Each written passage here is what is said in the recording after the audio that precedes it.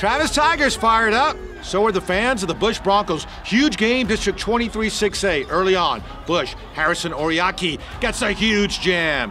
Then it's Oriaki again. He puts it away. Travis now. Justin Mack had a big game. Pulls up. The three is good.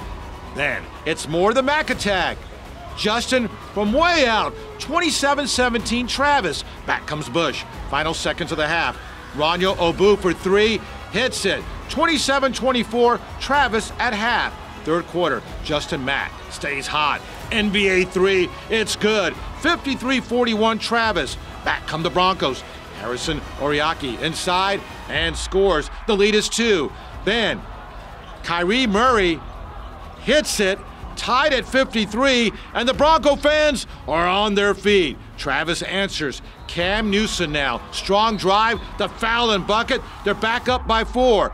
Final minute. Bush down by three. Mason Gidry for the tie, and it's good. Now, final seconds. Bush has the lead after free throws, up by three. Travis Justin Mack for the tie at the buzzer, and no, it won't go.